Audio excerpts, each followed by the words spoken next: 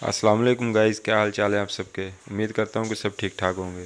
Welcome करता हूँ अलमूसा Taylor channel में आप सबका। तो गाइस, आप लोगों के लिए ये दो और दो डिज़ाइन लेकर आया हूँ।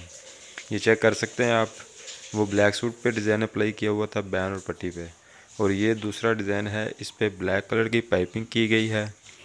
और ये छोटा चावल टांका ब्लैक धागे का लगाया गया है। ब्लैक बटन है, बहुत ही प्यारा और यूनिक सा डिज़ाइन है। Thank you.